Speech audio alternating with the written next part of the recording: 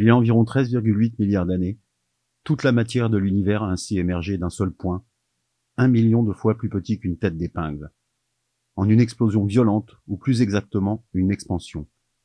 C'est le Big Bang. Celle-ci s'est développée à une vitesse à une température incroyablement élevée, doublant de taille toutes les 10 à 30 secondes, créant ainsi de l'espace tout en gonflant rapidement.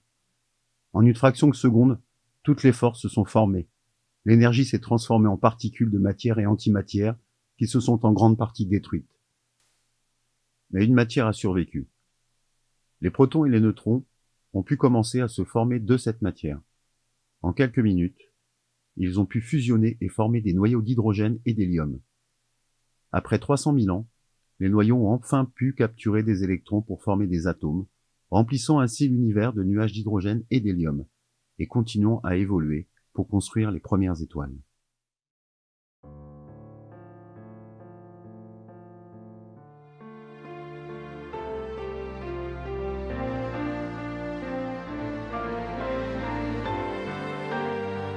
Lorsque l'univers avait environ 400 000 ans d'existence, le plasma qui le composait, en se refroidissant, est devenu un gaz neutre et transparent. Tandis que l'univers continuait à s'étendre, des sortes de grumeaux ont eu tendance à se condenser sur leur propre poids, formant progressivement des structures liées par la gravitation. L'univers a pris l'aspect d'une mousse de bulles vides dont les jointures formaient un réseau de gigantesques filaments. Au nœud de ce réseau, là où la densité de matière était plus importante, les premiers systèmes capables de produire des étoiles sont apparus.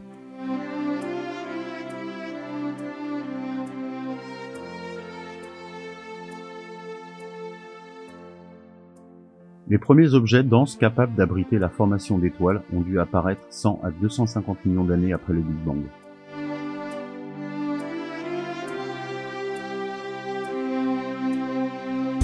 Les éléments chimiques de protogalaxies, plus lourds que l'hydrogène et l'hélium, se forment au cours des réactions de fusion thermonucléaire qui ont lieu dans le cœur des étoiles. Au commencement, les nuages de gaz primordial se forment au nœud des structures filamenteuses qui emplissent l'espace et se contractent sous l'effet de leur propre poids. Cette compression chauffe le gaz au centre des nœuds et la température devient rapidement supérieure à 1000 Kelvin.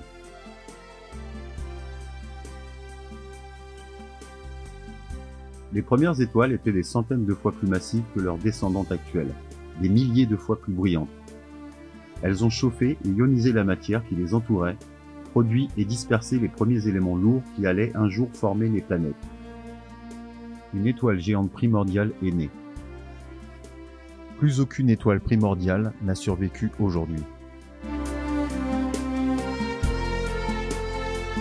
Entre 700 et 900 millions d'années après le Big Bang, apparaissent les premières galaxies.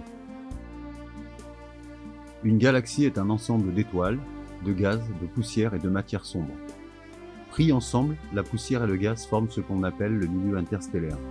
Il existe une grande diversité de tailles et de formes de galaxies. Par exemple, notre galaxie, qui s'appelle la Voie lactée, est en effet une galaxie spirale. Les galaxies spirales se formeraient lorsque de grands nuages de gaz en rotation lente s'effondrent, entraînant une densification puis une production d'étoiles. Pendant son aspiration vers le centre, le gaz s'enrichirait de constituants, notamment les éléments plus lourds, qu'ont éjecté les premières étoiles massives que l'on a vues précédemment et de courte durée de vie au moment de leur mort. Notre galaxie s'étend sur environ 100 000 années-lumière pour une épaisseur d'environ 1000 à 3000 années-lumière. Notre galaxie contient entre 100 et 200 milliards d'étoiles.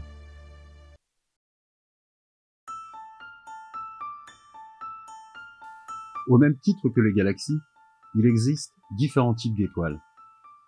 Voici une géante rouge. Ce sont des étoiles qui sont arrivées à la fin de ce qu'on appelle la séquence principale, avant d'exploser en supernova.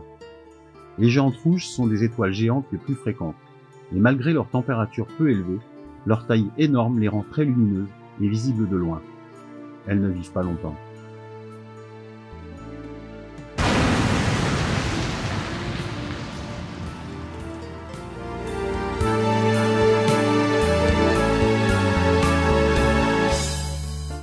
Rouge finit généralement sa vie en supernova. les couches supérieures de l'étoile s'effondrent brusquement, puis rebondissent sur son cœur, créant une gigantesque explosion. Les gaz éjectés par la supernova restent visibles encore quelques milliers d'années. C'est une nébuleuse. Voici les restes de la supernova SN 1054. Les chroniques chinoises relatent qu'au mois de juillet 1054, une nouvelle étoile très brillante est apparue dans la constellation du taureau. Cette supernova est restée visible en plein jour pendant trois semaines.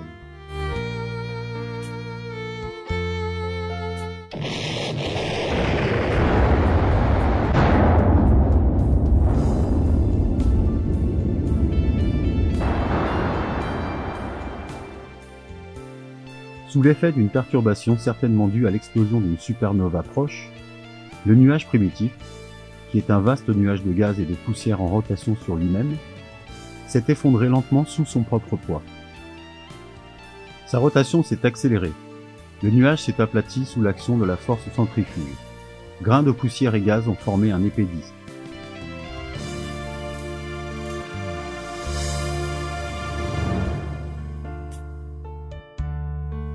Une foule de débris circule encore à grande vitesse dans l'espace interplanétaire. Durant un bon milliard d'années, ils vont littéralement bombarder les planètes avant de former la ceinture d'astéroïdes qui existe entre Mars et Jupiter. Les astéroïdes sont sans doute avec les comètes les corps les plus primitifs du système solaire, trop petits pour avoir subi des transformations morphologiques ultérieures à la différence des planètes.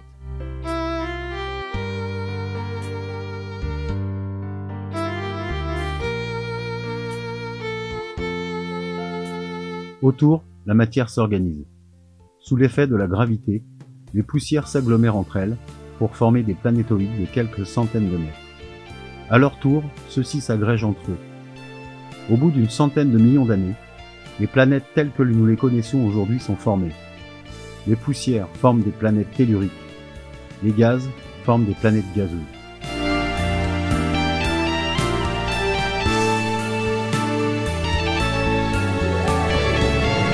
Au cœur de ce disque, pression et température ont favorisé l'allumage de notre Soleil.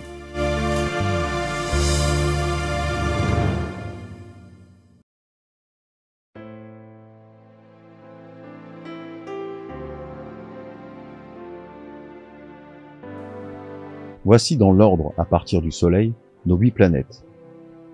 Mercure, suivi de Vénus, notre magnifique planète et sa lune, la dernière planète tellurique dite solide, Mars. Ensuite viennent les planètes gazeuses, la plus grande d'entre elles, la géante Jupiter.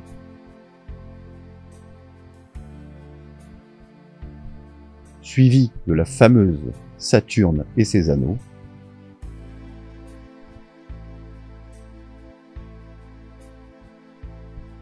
Uranus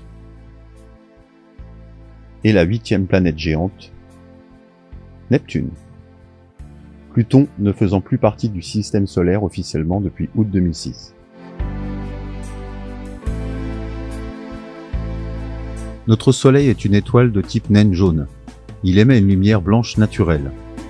C'est une énorme sphère gazeuse de 1,4 million de kilomètres de diamètre. Il est composé d'hydrogène et d'hélium. Il représente à lui seul 99,86% de la masse de notre système solaire. Son diamètre correspond à 109 fois celui de la Terre.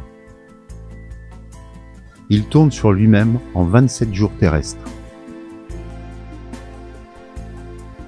La température qui y règne en son centre est de 15 millions de degrés.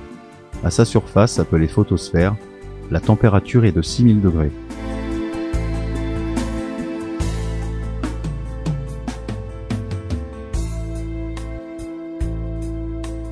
Notre Soleil est né il y a environ 4,5 milliards d'années et devrait continuer à nous offrir sa lumière et sa chaleur pendant encore 4 à 5 milliards d'années. Il est situé à 150 millions de kilomètres de la Terre et sa lumière met 8 minutes 19 secondes pour nous parvenir. Avec un instrument d'observation, on découvre des taches qui sont des régions un peu plus froides, d'environ 4000 degrés, qui présentent un champ magnétique très important. Le magnétisme est responsable de la plupart des phénomènes visibles dans l'atmosphère solaire.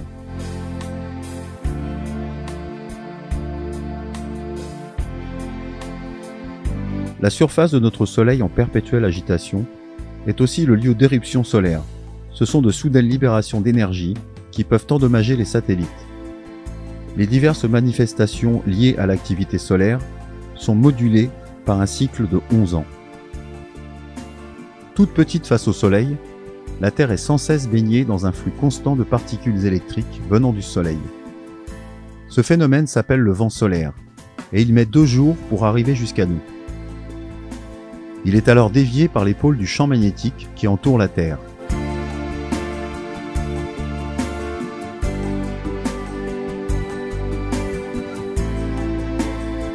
Quand les particules électriques solaires rentrent en contact avec des atomes de la haute atmosphère, il se produit une réaction lumineuse. C'est ainsi que se forment ce que l'on appelle les aurores boréales, qui sont la manifestation la plus visible de l'activité solaire sur Terre.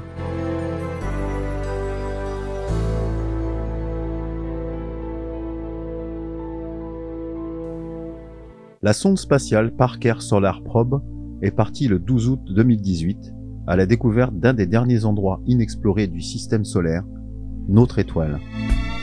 10, 9, 8, 7, 6, 5, 4, 3, 2, 1, 0. Liftoff of the mighty Delta IV Heavy rocket with NASA's Parker Solar Probe. Un an après son lancement, la mission offre de premiers résultats surprenants. Les chercheurs ont notamment découvert que le vent solaire est fortement perturbé par de petits jets de plasma supersoniques. Ces derniers pourraient impacter le mécanisme de formation du vent solaire et du chauffage de la couronne.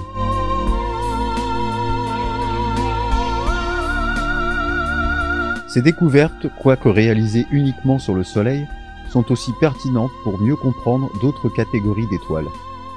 Par exemple, les chercheurs ont observé une vitesse de rotation plus importante que prévu de la couronne autour du Soleil, ce qui pourrait avoir une incidence sur notre compréhension plus générale de la rotation des étoiles.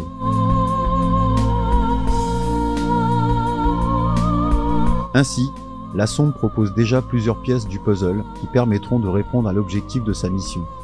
Les 22 autres passages de plus en plus proches de l'étoile prévus d'ici 2025 promettent de belles découvertes.